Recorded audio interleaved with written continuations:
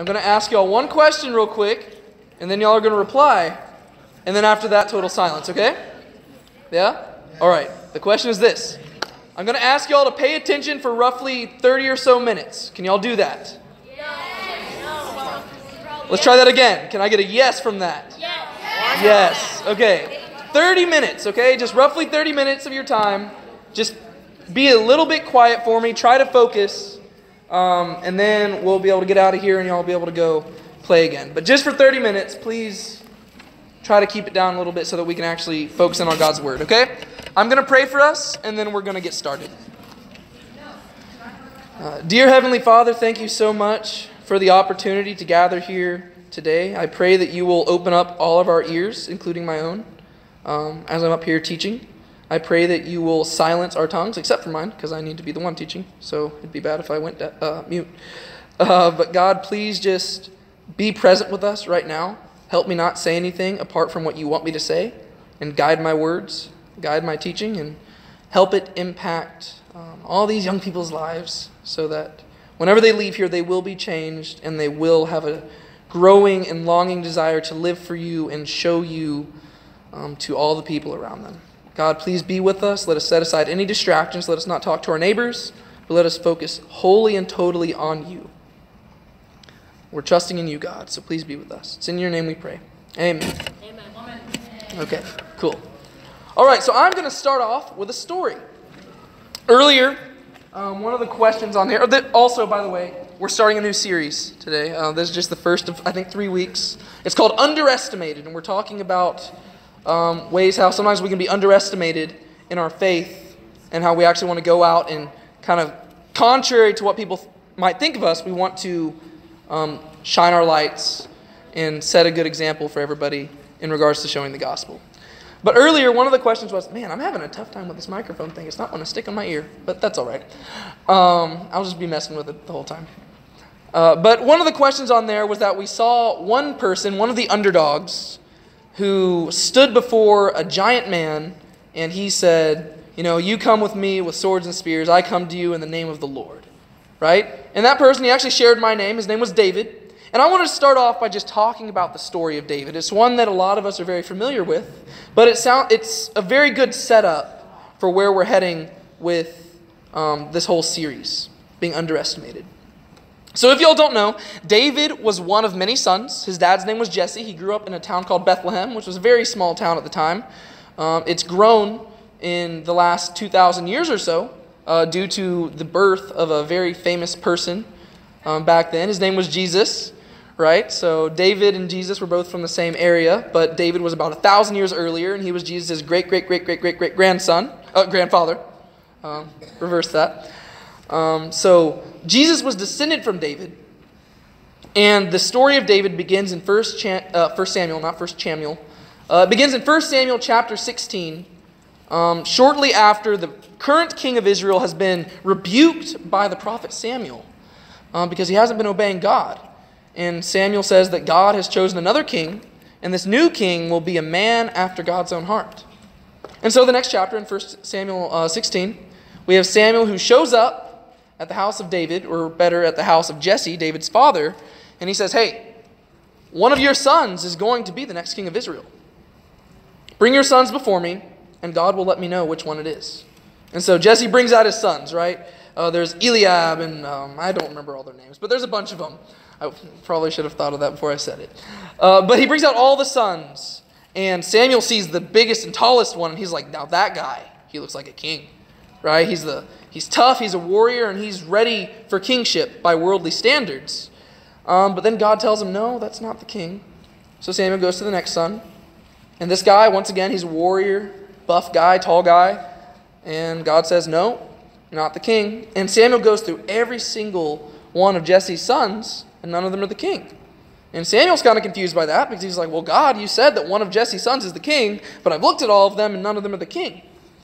And that's whenever God says to Samuel, Well, the Lord looks to the outward appearance, or no, man looks to the outward appearance, but the Lord looks to the heart. And so we're not looking at outward appearance, we're looking at the contents of a person's heart. And there's another son. Right? So Samuel goes back to Jesse and he says, Hey, do you by chance have another son? Like maybe some son that you just didn't think to bring out because you thought he wasn't worthy of being a king.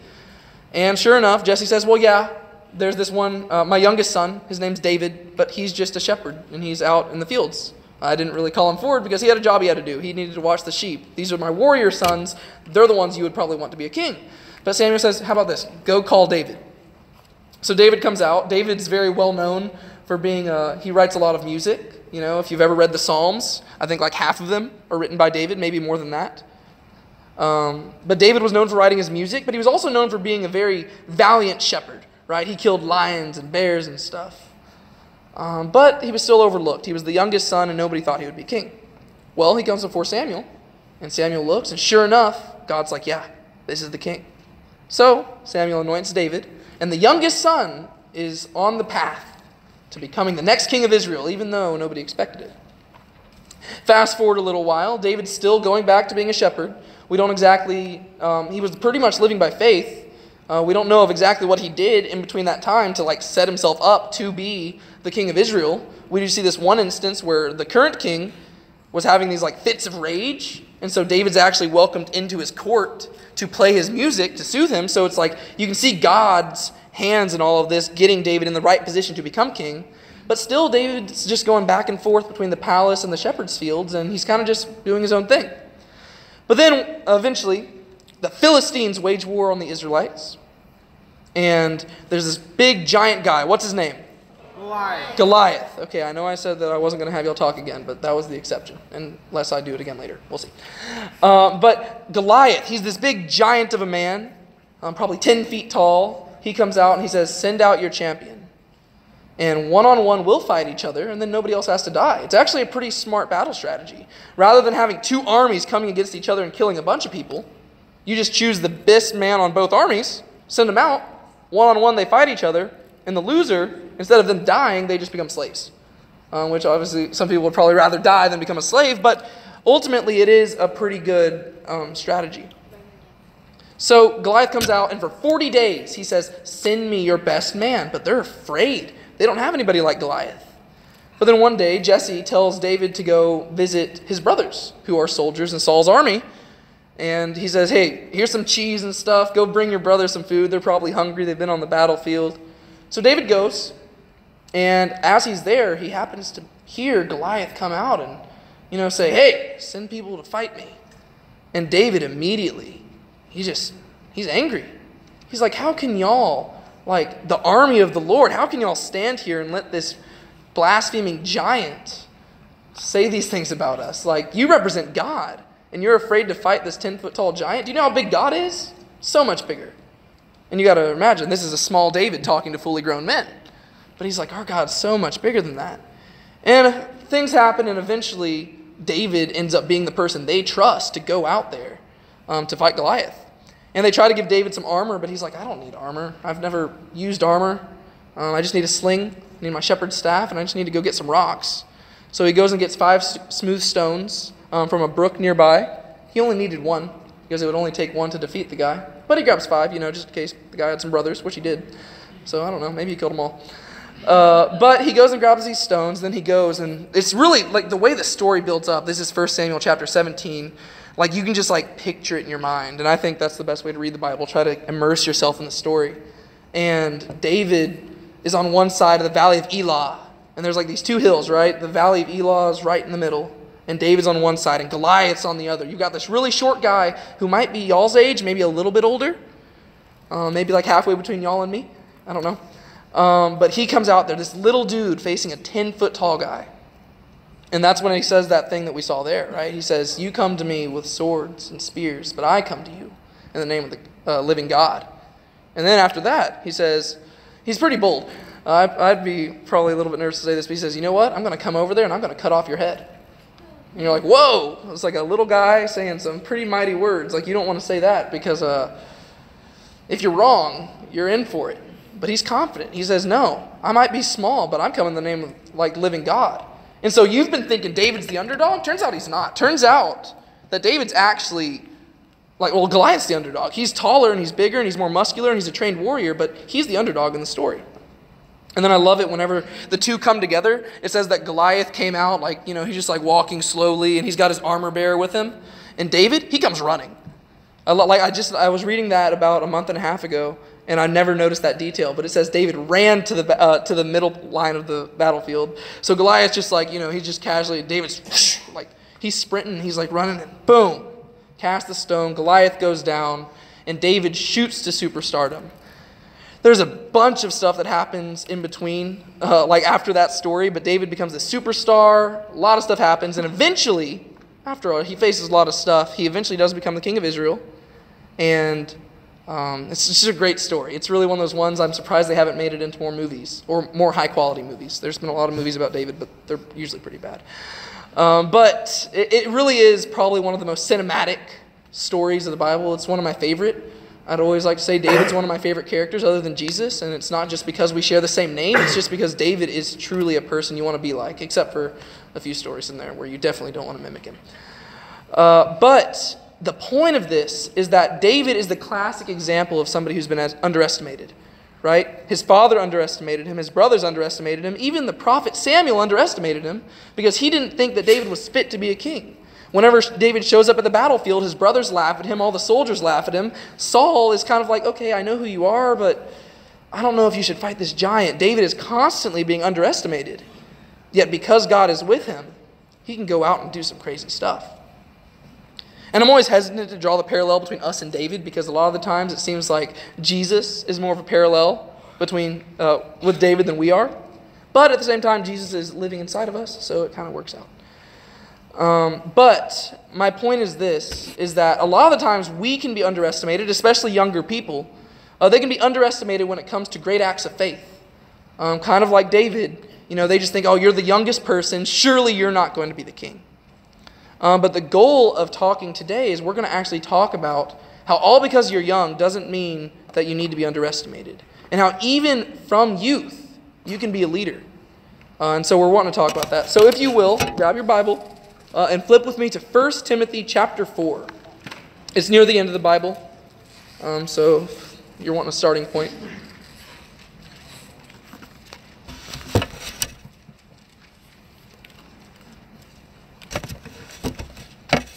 And I'm going to start in verse 6, and I'm just going to read a little bit. So, uh, if y'all are still flipping there, I'm just going to start reading. This is written by Paul to his pupil Timothy. We don't know how old Timothy was, but Paul the Apostle, pretty famous guy, used to persecute the church, ends up becoming one of the godliest saints ever who died for his faith. But uh, he's writing to Timothy, who is his, not his son, but he called him his son because he really loved Timothy and he really wanted Timothy to be a good servant of God. And this is what he says, starting in verse 6. If you put these things before the brothers, you will be a good servant of Christ Jesus, being trained in the words of the faith and of the good doctrine that you have followed, having nothing to do with irreverent, silly myths. Rather, Train yourself for godliness, for while bodily training is of some value, godliness is of value in every way, as it holds promise for the present life and also for the life to come. The saying is trustworthy and deserving of full acceptance. For to this end we toil and strive, because we have our hope set on the living God, who is the Savior of all people, especially of those who believe. Command and teach these things. And this next verse is what I really want you to focus on. Let no one despise you for your youth but set the believers an example in speech, in conduct, in love, in faith, in purity. That's the verse that it's really a verse I hadn't really even noticed this verse until I think maybe two or three years ago, and now I hear it quoted all the time. It's crazy how that works. Um, but that verse right there really should impact every single young person and um, older people too um, because it, real, it makes us realize that we're not excused and that at any moment we should become leaders. Uh, and we should try to point people to Christ. But I'm going to read it one more time and then we're going to break it down. Let no one despise you for your youth, but set the believers an example in speech, in conduct, in love, in faith, and in purity. Right, so a lot of the times, um, and this is a true thing, a lot of times we look at older people and we say, wow, they have so much wisdom, which is true. Usually you um, are, you do get wiser with age. If you're not getting wiser with age, you're probably doing something wrong in life. Um, so older people typically are wiser. But that doesn't mean that people should look down on the younger people, right? And but that, at the same time, that doesn't mean that Paul is justifying foolishness. Rather, he's calling us to learn from the wise people above us and to mimic them so that they can't look down on us by failing to apply their example. And he's saying to young Timothy here, he says that there are five different ways in which Timothy should strive to be an example for people.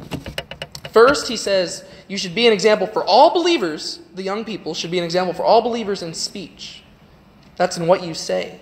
You know, what you say and what, what you're going around, how you talk, the way you talk with your friends. You should set an example for people on how believers should be. And this can be wherever you go, right? Whether you're in your family, whether you're at church, or whether you're at school. Whether you're not at school, maybe you are, you and your friend are just hanging out at your house. The things that you say should be said for the explicit purpose of pointing people to Christ. So that really should challenge you like how do you whenever you talk, do you sound like people who aren't saved? You know, are you cussing as do you cuss like all the people who you know, they don't know Christ? Like it's it's funny how just small things, you could just change the way you talk in very small ways and people will notice. Um, and it doesn't even have to be with cussing. Cussing is just probably the most the easiest example to apply. But there's just little things, the way you talk to people, it can actually point people to Christ because you can actually show them through your speech that you care for them. Right? When you talk to them, whenever whenever you meet with somebody and you're talking to them back and forth, a lot of the times it's easy to get into a conversation where it's not a conversation at all. Really one person's talking and then whenever they're not talking, they're waiting to talk. They're not actually listening to the other person. Right? But as a Christian, we should love people and whenever we're not talking, let's listen to them and let's say, hey, I actually care about what you're saying. You know, that's what we need to do. So, just in the way you talk to people, whether it be your family, your mother, and your father, I think sometimes we can say things that we don't, uh, we shouldn't say to our mother and father, but we need to be careful there. He also says that you should be an example in conduct. These are the things that you do, right? The things that you do in life should be different. The Bible constantly uses the word holy to describe believers in Christ. Be holy as I am holy. That's what God says. So the things you do should be set apart. Whenever you're going out and the things you're interested in, the things that you are constantly pursuing in life, are they the same things that the people outside of the church are pursuing? Like, he's calling us to being radically different, and this is why he's saying that nobody should despise you because of your youth, because whenever they examine you, even at a young age, they should be able to know what you stand for. They should be able to look at you and they should be like, wow, this person, they might not know what they're going to do in the future. They might not know where they're going to go to college, but man, they know that they love Jesus.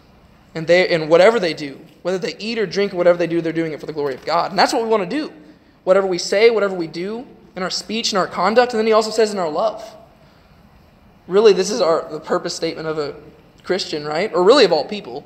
Um, the Christians are the ones who have the cheat code to the uh, actual meaning in life, you know. Uh, it's to love God and to love your neighbors, to love all people. Um, the way you love should be different. The way the world loves is often a give and take. You do something for me, I'll do something for you. But that's not how, Christian, uh, how Christians love. And that's not the love of Christianity at all. The love of Christianity is rooted in the gospel, right? Whenever we were unworthy for God's love, and we were literally worthless because we sinned against Him, He still loved us enough to come down in the flesh and die for us. And if he's willing to do that for us, we should be willing to do that for others, right? Like sometimes we get mad at people just for the smallest things, and we get so frustrated by, like, whenever we lose Wi Fi connection. And you realize, like, those are such tiny things in the broad scope of things. The God of creation stepped down in the flesh and died for us, even though we didn't deserve it.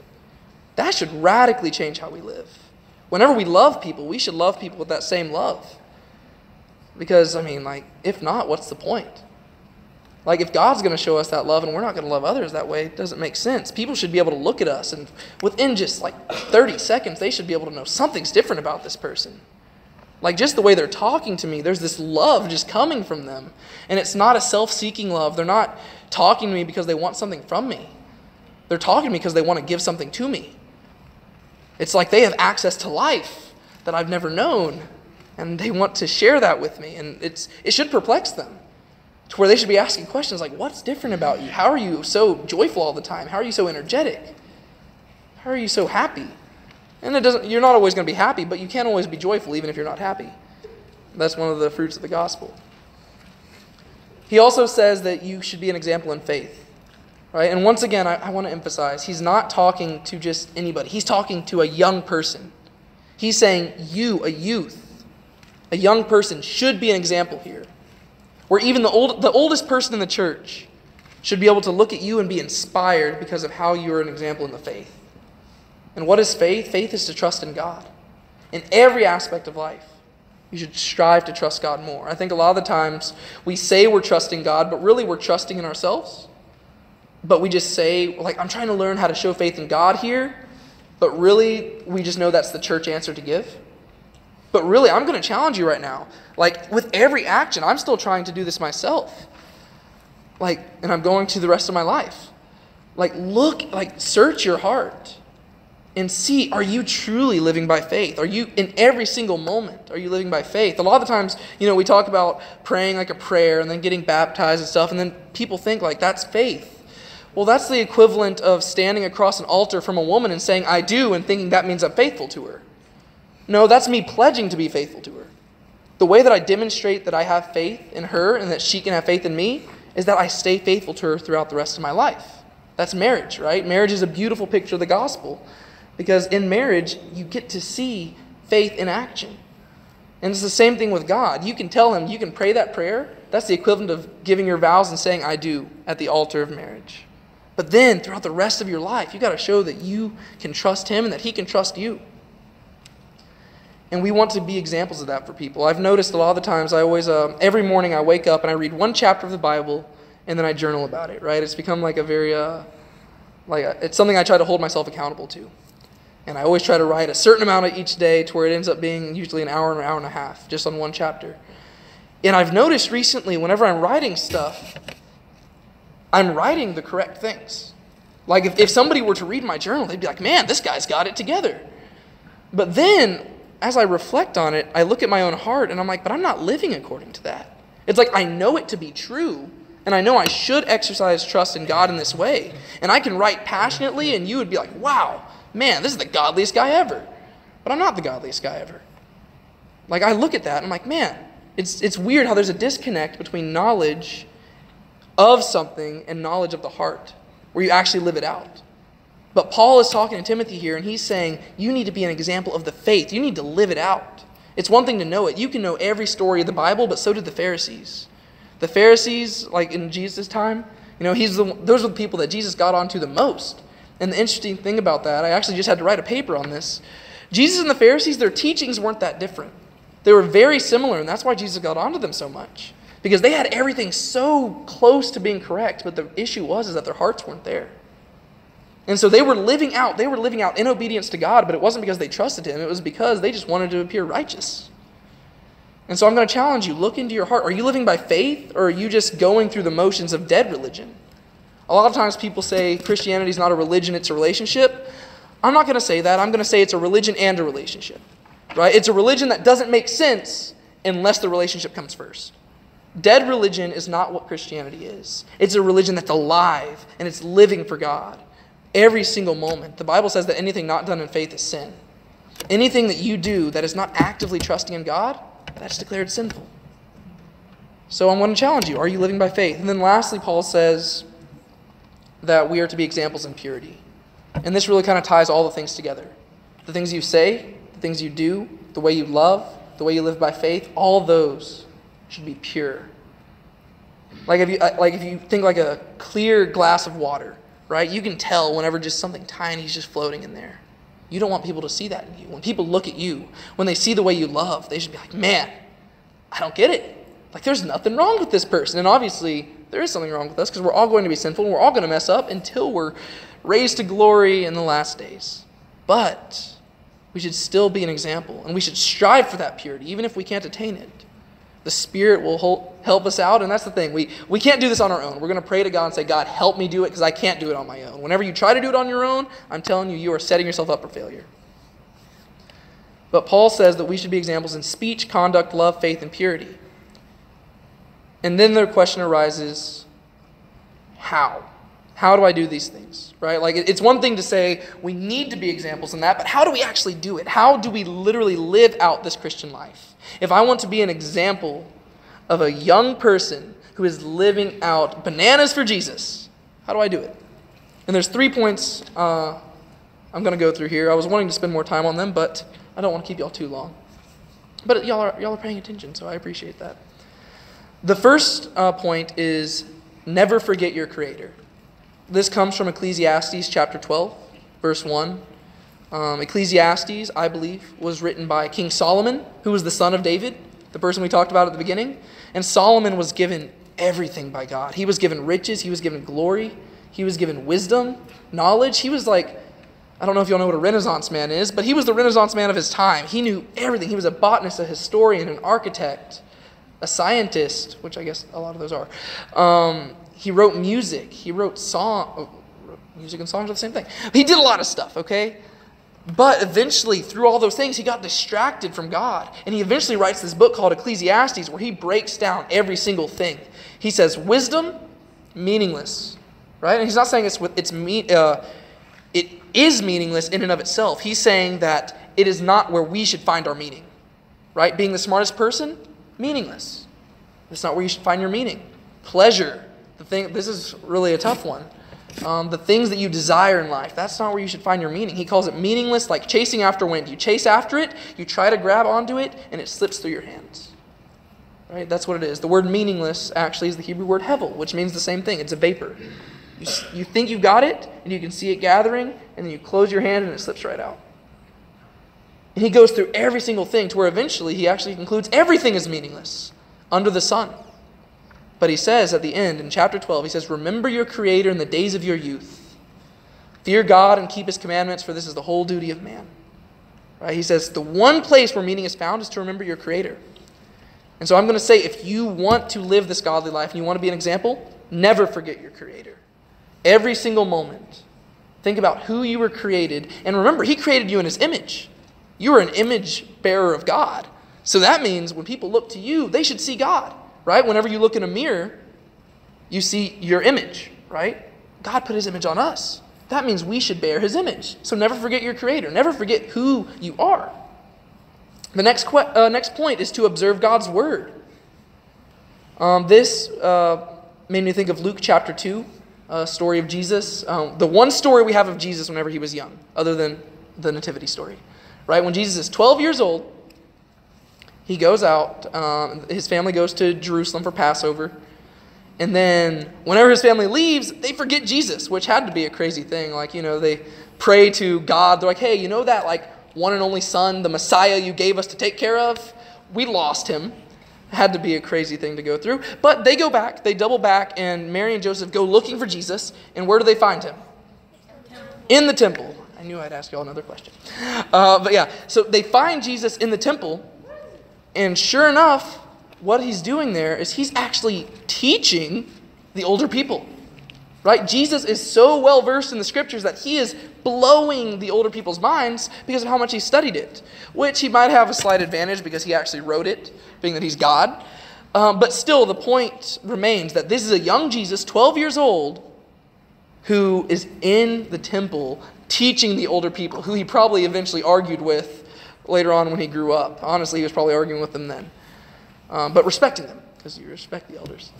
But once again, so the second point is to observe God's word. Never forget your creator, observe God's word. Study it. Like literally one chapter a day, but don't, I'm not going to say like five minutes a day. I think God deserves more than that. You know, like if, if you're going to do one chapter a day, go deep into it, right? Immerse yourself into the story. You know, or if it's not a story, immerse yourself into the teaching. Pray to God. Say, God, I can't read this on my own. Teach me your word. Help me understand it and help me apply it and help me reflect you. The last point is to wear humility. Uh, if you will, we're going to flip to one passage and then I'm going to wrap us up. Uh, Matthew chapter 18.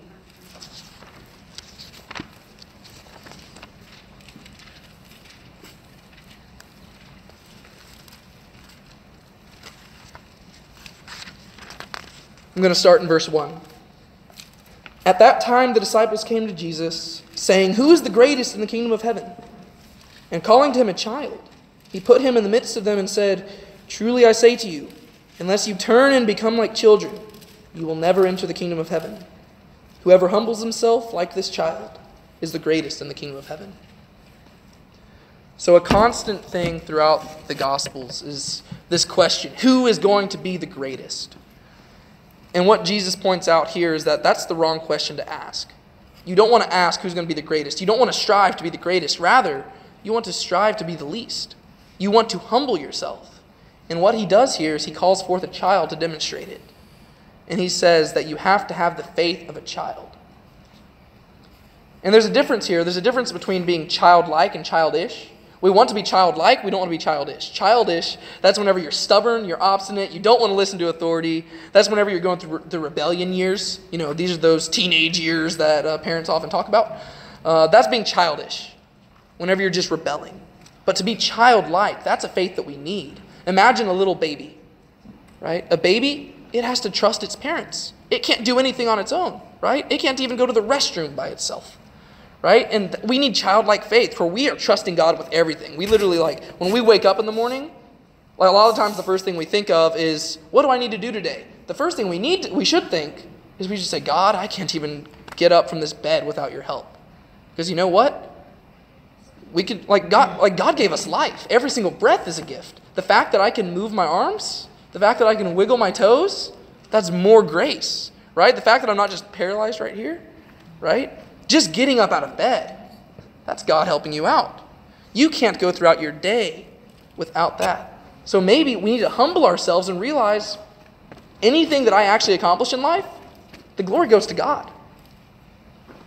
And so I'm just going to challenge y'all to wear that childlike faith where you're trusting Him with everything, every single moment. And so we've got three points. Never forget your Creator, observe God's Word, and wear humility. I tried to make that an acronym. It spells N O W now, right?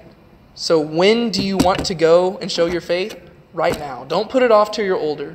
A lot of times we can say that. We can say, you know what, when I get older, I'll get more devoted and I'll go to church more. Well, I can tell you this God isn't focused on how much you're going to church. I'm focused on how much you're going to church. I want you to come to church as much as possible. God's focused on your heart. I look to the outward appearance and I try to discern the inside.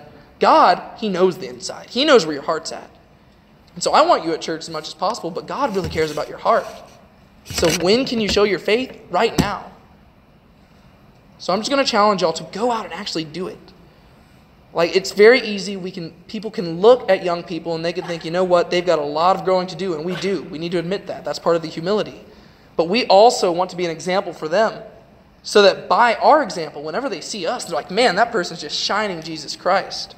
It inspires them, and they're like, wow, and I'm 20 years older than them, I need to step it up. You know, if, if we are setting a high standard, it's holding everybody else accountable. We want it to be where all of us are present in the worship service and everybody just notices, man, those kids are paying attention, they're taking notes, they actually care about Jesus. They're not talking to one another. Most kids would, but these kids, they're different. They're set apart. They're being examples in their conduct, in their speech, in their purity, in their love, in their faith. So I'm just going to challenge y'all to go out and do that. Act, don't just hear these words I'm saying, nod your head, and be like, oh, yeah, that was good. No, like when you get up from this place, literally go out and every single thing, ask yourself, am I exercising faith in God right now? Am I showing Him love? Am I giving Him glory?